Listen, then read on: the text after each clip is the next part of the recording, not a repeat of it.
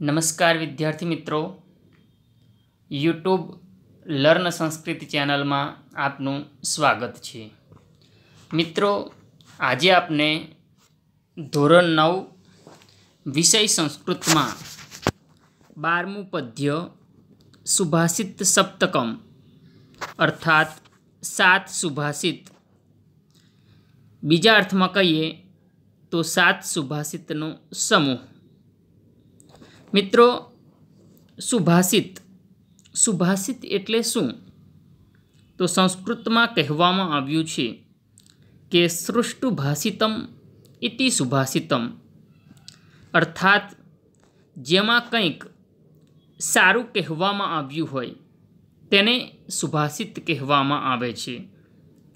સુભાષિત એટલે સુંદર ઉક્તિ અથવા બોધવચન. સંસ્કૃતના સુભાષિતોની અનેક વિશેષતાઓ છે. એક તો આ સુભાષિતો ગાગરમાં સાગર ભરી દેતા લઘુ પદ્ય હોય છે. તેથી જનજનના કંઠે ગવાતા રહીને સતત વહેતા રહે છે અને વ્યક્તિને જીવનમાં ભાથું પૂરું પાડે છે. બીજું, સંસ્કૃત સુભાષિતો વૈશ્વિક ભાવનાના પોષક અને તોષક છે. તથા સાથે સાથે ભારતીય સંસ્કૃતિના ઉદાત વિચારો અને સંસ્કારોના પ્રવાહક પણ છે. તો મિત્રો, આવો આપણે આવા જ સુભાષિતોનો અભ્યાસ કરીએ. પ્રથમ સુભાષિત.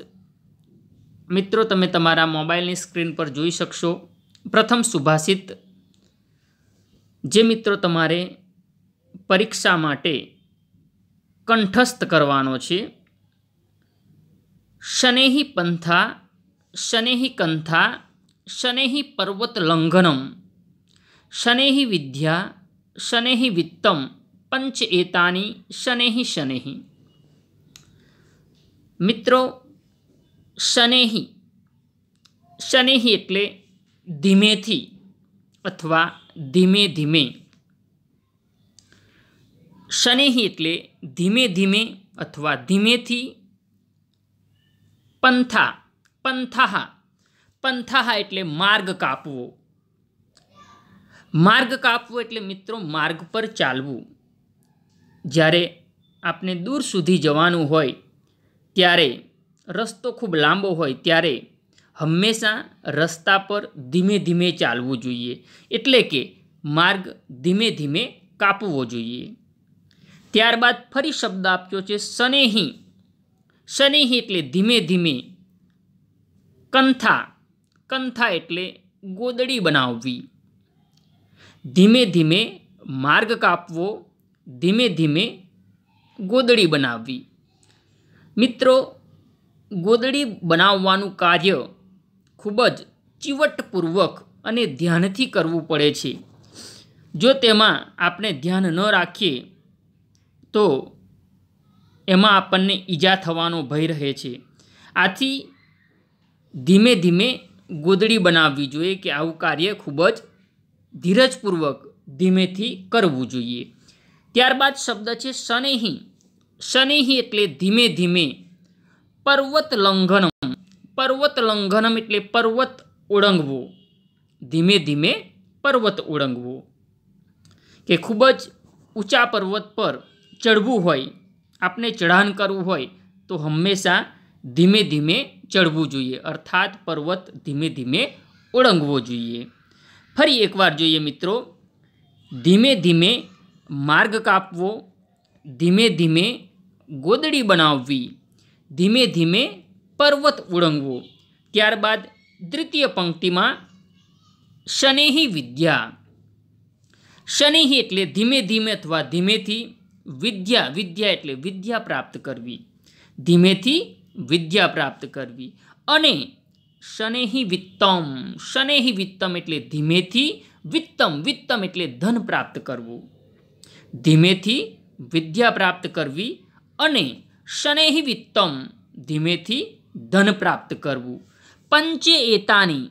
મિત્રો, અહીં સંધિ છે. પંચ પ્લસ એતાની. એતાની એટલે આ પંચ. પંચ એટલે પાંચ કાર્ય. આ પાંચ બાબતો. શનેહી શનેહી. શનેહી શનેહી એટલે ધીમે ધીમે થાય છે અથવા ધીમે ધીમે કરવામાં આવે છે. મિત્રો, ફરી એકવાર શબ્દસહ અનુવાદ જોઈએ. શનેહી પંથા ધીમે ધીમે માર્ગ કાપવો શનેહી કંથા ધીમે ધીમે ગોદડી બનાવવી શનેહી પર્વત લંઘનમ ધીમે ધીમે પર્વત ઓળંગવો શનેહી વિદ્યા ધીમેથી વિદ્યા પ્રાપ્ત કરવી અને શનેહ વિત્તમ ધીમેથી ધન પ્રાપ્ત કરવું પંચે એતાની એતાની એટલે આ પાંચ બાબતો શનેહી શનેહી હંમેશા ધીમે ધીમે થાય છે અથવા ધીમે ધીમે કરવામાં આવે છે. મિત્રો, ગુજરાતીમાં એક કહેવત છે કે ધીરજનું ફળ ખૂબ જ મીઠું હોય છે અથવા તો ઉતાવળે આંબા ન પાકે. એટલે કહેવાનો મતલબ એ કે મિત્રો, કેટલાક કાર્યો આપણે ઉતાવળે કરીએ તો એ કાર્ય સારી રીતે પૂર્ણ થઈ શકતું નથી અથવા તો એમાં ઘણા બધા વિઘ્નો આવે છે. એટલા માટે કેટલાક કાર્યો હંમેશા ધીરજપૂર્વક અથવા ધીમે ધીમે કરવા જોઈએ. ઓકે મિત્રો, ત્યારબાદ આપણે દ્વિતીય શ્લોક જોઈએ. દ્વિતીય સુભાષિત. શીલમ, શૌર્યમ, અનાલસ્યમ પાંડિત્યમ મિત્ર સંગ્રહ અચોર હરનિયાની પંચએતાની અક્ષયો નિધિ મિત્રો, પ્રથમ શબ્દ છે શીલમ. શીલમ એટલે ચારિત્ર. શીલમ એટલે ચારિત્ર. ત્યારબાદ બીજો શબ્દ છે શૌર્યમ અનાલસ્યમ. મિત્રો, અહીં સંધિ છે શૌર્યમ પ્લસ અનઆલસ્યમ અનાલસ્યમ. શૌર્યમ એટલે સુરવીરતા. અને અનાલસ્યમ એટલે આળસ ન કરવું. મિત્રો, ફરી એકવાર જોઈએ. શીલમ એટલે ચારિત્ર, શૌર્યમ શૌર્યમ એટલે સુરવીરતા, અનાલસ્યમ આળસ ન કરવું. ત્યારબાદ શબ્દ છે પાંડિત્યમ. પાંડિત્યમ એટલે પંડિતાઈ અને મિત્ર સંગ્રહ મિત્ર સંગ્રહ એટલે સારા મિત્રોનો સંગ્રહ કરવો. ચારિત્ર, સુરવીરતા, આળસ ન કરવું પંડિતાઈ અને સારા મિત્રોનો સંગ્રહ કરવો. અચોર હરનિયાની, મિત્રો ધ્યાન રાખજો તૃતીય પંક્તિમાં પ્રથમ શબ્દ. અચોર હરનિયાની, અર્થાત ચોર ચોરી ન કરી શકે તેવી. ચોર ચોરી ન કરી શકે તેવી. પંચે એતાની અક્ષયો, મિત્રો અહીં સંધિ છે પંચ પ્લસ એતાની પ્લસ અક્ષયો. એતાની એટલે આ, પંચ એટલે પાંચ, અક્ષયો નિધિ.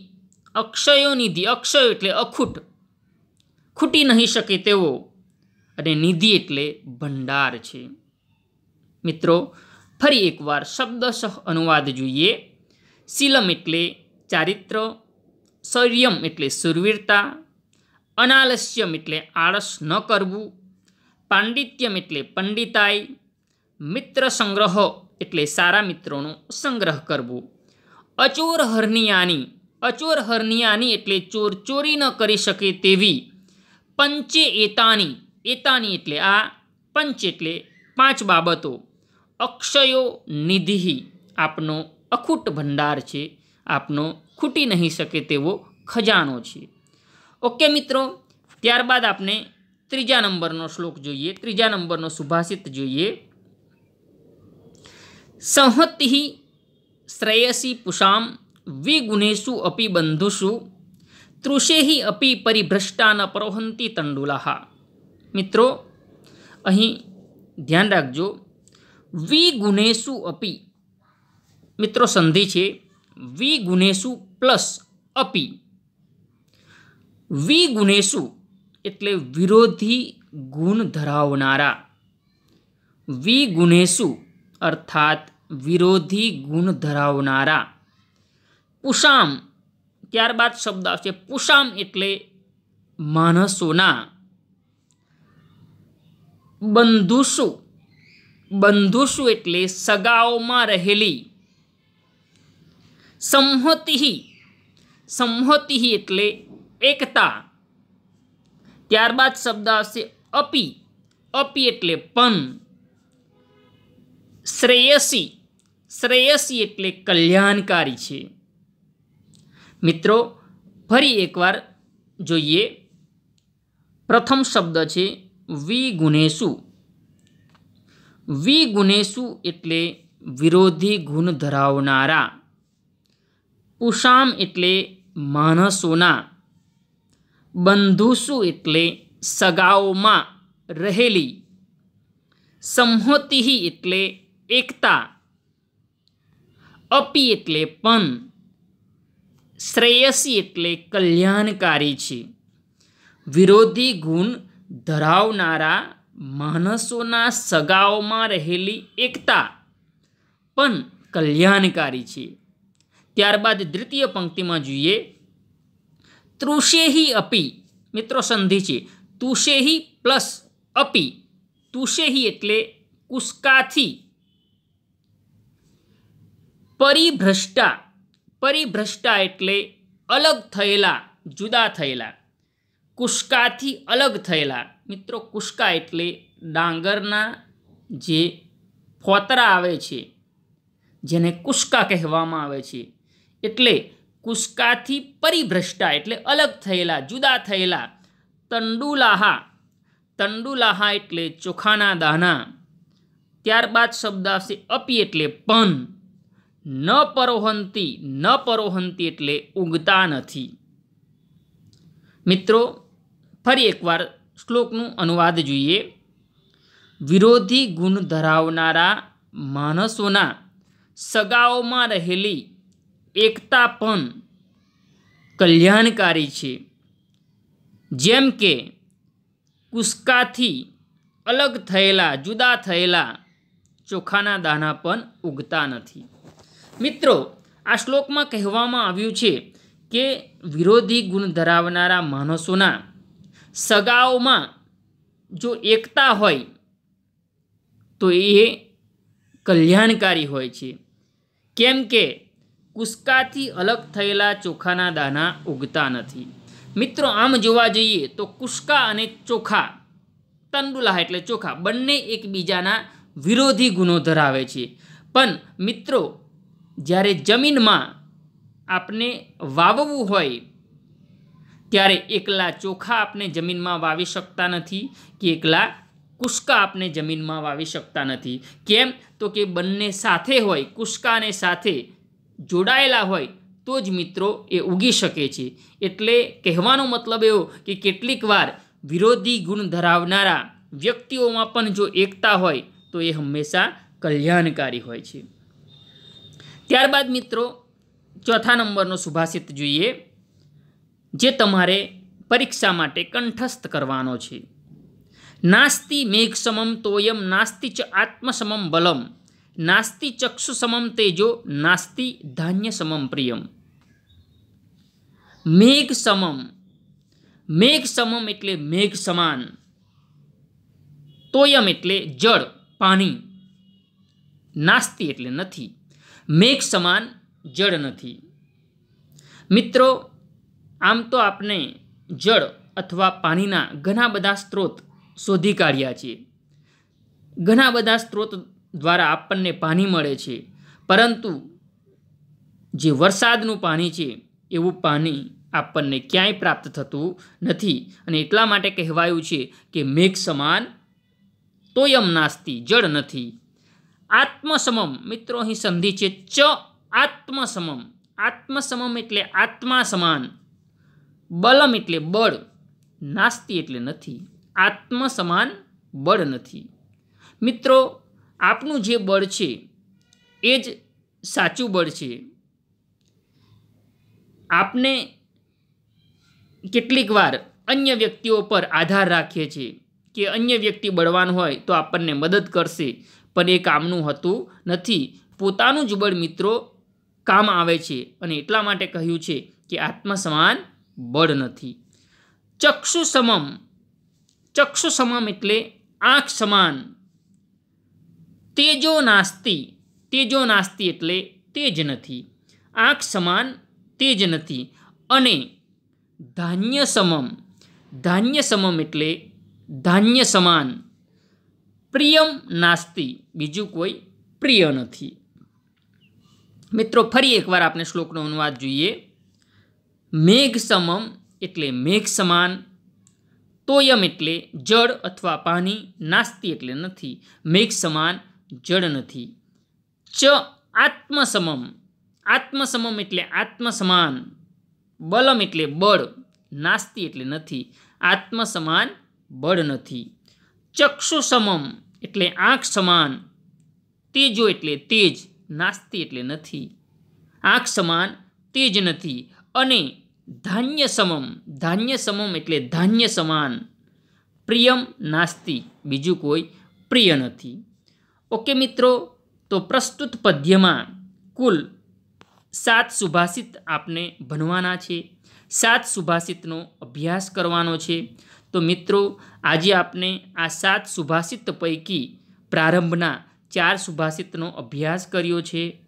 આશા રાખું છું કે સુભાષિતમાં, અર્થાત સુભાષિતના અનુવાદમાં તમને ખબર પડી હશે. જો કોઈ શબ્દમાં તમને મુશ્કેલી જણાય તો મને કમેન્ટ બોક્સમાં કમેન્ટ કરીને અવશ્ય જણાવશો.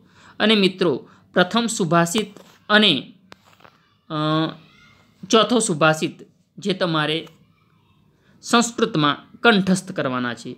ઓકે મિત્રો, તો અહીં આપનું આજનું લેક્ચર પૂર્ણ કરીએ છીએ. ધન્યવાદ.